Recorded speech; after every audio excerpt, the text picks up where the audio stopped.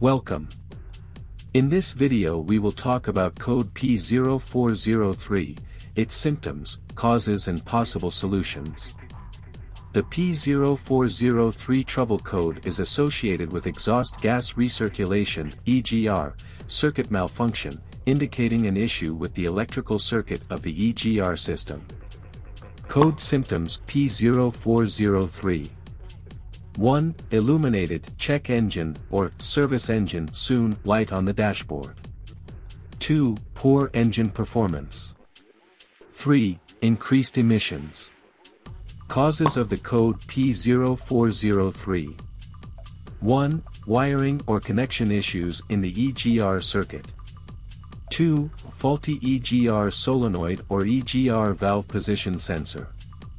3. Problems with the Engine Control Module, ECM. Code Solutions P0403. 1. Inspect and, if necessary, repair any faults in the wiring or connections of the EGR circuit. 2. Check and, if needed, replace the malfunctioning EGR solenoid or EGR valve position sensor. 3. If ECM issues are suspected, consult a qualified technician for diagnosis and potential reprogramming or replacement.